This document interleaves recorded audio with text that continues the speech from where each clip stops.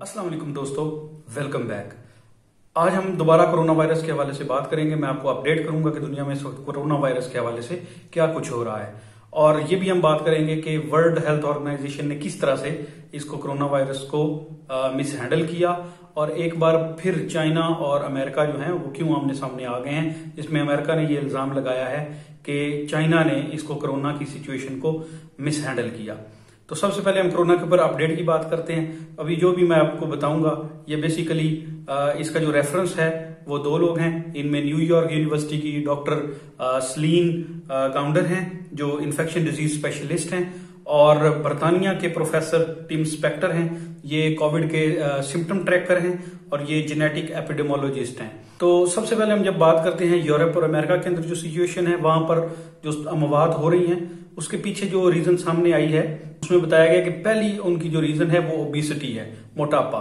کیونکہ وہاں موٹے لوگوں کی تعداد بہت زیادہ ہے، موٹاپا جو ہے وہ تقریباً ون تھرڈ پاپولیشن کے اندر موجود ہے۔ تو اس لیے اوبیسٹی کے جو پیشنٹس ہیں ان کو جب یہ کرونا وائرس نے ہٹ کیا ہے تو وہ اس میں سروائیو نہیں کر پا رہے۔ اس کے بعد جو دوسری چیز جو یو کے کے اندر جو فائنڈنگ ہوئی ہے، اس کے حوالے سے اگر ہم بات کرتے ہیں تو ان کے نزدیک اس کی سب سے بڑی بڑی وجہ جو ہے، وہ ڈائبٹیز ہے۔ شوگر کے مریض جو ہیں، وہ اس سے سروائیو نہیں کر پا رہے ہیں۔ اب برطانیہ نے اس کے اوپر جو بہترین کام کیا انہوں نے ایک الگوریزم ڈیولپ کرنا شروع کیا ہے۔ اس میں انہوں نے سوشل سوشل میڈیا کو ایز ریڈار لیا ہے۔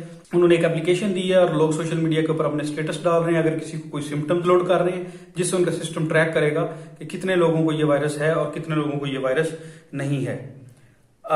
اس کے بعد اب اب جو ان کی سمٹمز کی لسٹ ہے، اس کے اندر انہوں نے سمٹمز کی لسٹ کو ری آرڈر کیا ہے۔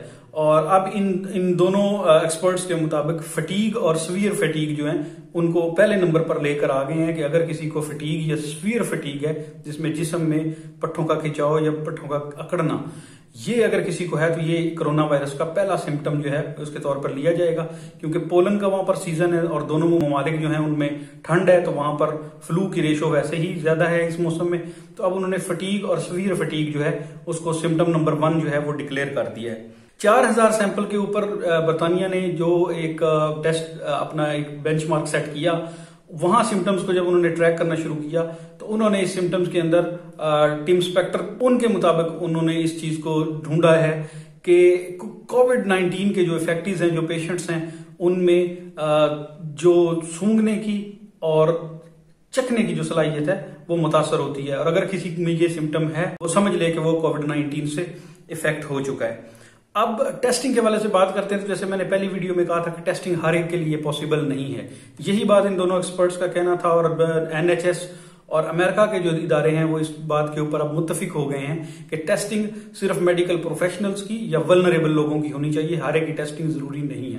اب جو ٹیسٹنگ کی بات ہو رہی ہے، جو باقی ادارے ٹیسٹنگ کے اوپر بات کر رہے ہیں، وہ اینٹی باڈی ریلیٹڈ جو ہے، اس ٹیسٹنگ کی بات کر رہے ہیں۔ خاص طور پر ان لوگوں کے لیے جو اس انفیکشن میں سے گزر چکے ہیں اور ان کے اندر ایک ہرڈ امیونٹی آ گئی ہے، تو اینٹی باڈی ٹیسٹنگ جو ہے، اس کے تھرو یہ پتا چلایا جائے گا کہ آیا جن لوگوں کو ایک بار جو اس کو کووڈ نائنٹین کو بھگت چکے ہیں، کیا ان کو دوبارہ تو یہ نہیں ہوگا؟ کیا اینٹی باڈیز بن گئی ہیں؟ ہرڈ امیونٹی جو ہے، وہ بلڈ ہو چکی ہے یا نہیں ہوئی؟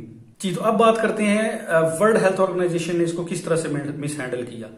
آپ جانتے ہیں کہ ورلڈ ہیلتھ آرگنائزیشن نے جب اس کو پینڈیمک ڈکلیئر کیا، اس وقت تک یہ وائرس پاکستان کی باؤنڈریز میں نہیں آیا تھا۔ تو انہوں نے ارلی اس کو پینڈیمک ڈکلیئر کر دیا۔ اس کے بعد وہ لاک ڈاؤن کے اوپر چلے گئے اور انہوں نے آل اوور جب لاک ڈاؤن کرنے شروع کیے، تو اس وقت اکانومیز جو ہیں وہ شدید پریشر کے اندر ہے۔ تو امریکہ کے اندر جو بزنس کمیونٹی ہے، ان کا ورلڈ ہیلتھ آرگنائزیشن کے اوپر یہ ایک بہت بڑا اعتراض جو ہے، یہ بنتا جا رہا ہے کہ ورلڈ ہیلتھ آرگنائزیشن نے اس کو مس ہینڈل کیا ہے۔ اس کو اگر ورلڈ ہیلتھ آرگنائزیشن کا یہ کہنا کہ دنیا کے اسی پرسنٹ لوگوں کو کووڈ نائنٹین یا کرونا ہوگا، تو اس سے یہ ثابت کرتے ہیں کہ یہ مائلڈ وائرس ہے، اس سے بہت زیادہ ڈیتھس نہیں ہونے والی۔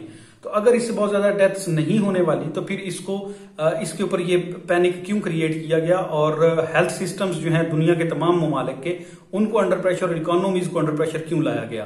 اس پر ورلڈ ہیلتھ آرگنائزیشن اور امریکن جو ہیں، ان کا یہ کہنا ہے کہ یہ چائنا کی غلطی ہے۔ چائنا نے وہان کو لاک ڈاؤن کیا اور انہوں نے اس کو مس ہینڈل کیا۔ تو آنے والے دنوں کے اندر ہم مزید اس میں دیکھیں گے کہ چائنا اور امریکہ کے درمیان یہ جو بھی ایک صورتحال ڈیولپ ہوگی، اس سے پتہ چل جائے گا کہ یہ معاملہ کس طرف جاتا ہے۔ دیکھنے سے تو یہی لگتا ہے کہ ورلڈ ہیلتھ آرگنائزیشن نے جہاں پر اس کے اوپر ایک ایک بیسک اپنا جو لایا عمل دینا تھا، وہ یہ تھا کہ اس میں ایج لمٹ ڈیفائن کی جاتی کہ یہ اس ایج سے اس ایج کے جو لوگ ہیں، وہ اس سے ولنریبل نہیں ہیں، وہ اپنی امیونٹی کا خیال رکھیں اور اپنے آپ کو پروٹیکٹ کریں۔ اور لوگوں کو گھروں میں رہنے کا کہا جاتا۔ اور لاک ڈاؤنز جو اتنے سویئر لیول پر کیے گئے ہیں، شاید وہ کرنے کی نوبت نہ آتی۔ اور ہیلتھ سسٹم جو ہیں، وہ بھی اس طرح سے ہٹ نہ ہوتے۔ اور واقعی جو ولنریبل لوگ ہیں، وہ ہاسپٹل تک پہنچ پاتے۔ اور ان کو، ان کا علاج جو ہے مؤثر طریقے سے ہو سکتا۔ تو اس وقت جو برطانیہ کی حکومت ہے، انہوں نے جو موٹو بنایا ہے، ان کا موٹو یہ ہے کہ stay at home protect N H S protect the vulnerable people تو وہ چاہتے ہیں کہ لوگ اپنے گھروں میں رہیں۔ اور اگر خدا نخواستہ کسی میں کووڈ نائنٹین یا کرونا وائرس ہے، تو وہ اپنے آپ کو آئسولیٹ کرے۔